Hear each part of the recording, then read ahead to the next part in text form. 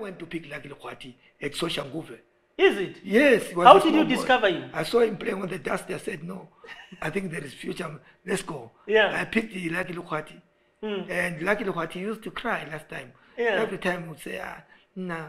ke to botsa mama ke nyaka go tama ke to botsa mama ke a tsama ke amra ka re no yeah. i can see i can see future so so when he got to limbopo he was always crying struggling he was uh, until little by bit i worked on his mind yeah. started motivating him he was, a, he was playing as a winger Mm. He was playing as a right back. But what was I making mean, him cry? Right wing. Uh, eh, right wing. What yeah. was making him? They were kicking him. Like he was, a, I know he was a mama's baby. Yeah. Life was not easy there. Sometimes there was no food. Sometimes yeah. you could, players could sleep eating Mount One. Mm. You see, that was the food they mostly ate there. Yeah. Maybe they'll buy Mount One for almost 50 rand. It was a very big packet. I told you to eat four days.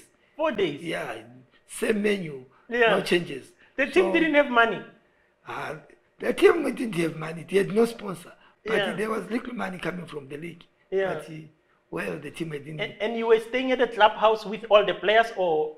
Mm, no, but when I came uh, at that team, mm. uh, well, it was not easy. It was a funny thing. Mm. I used life was tough for me. Yeah. I was staying uh, it is small guest house, but the cheapest guest house so far. Yes. Yeah. But uh, when I started staying there, actually, well, uh, I, I came as a, a single man in mm. South Africa. Mm. I married one uh, woman who was a teacher.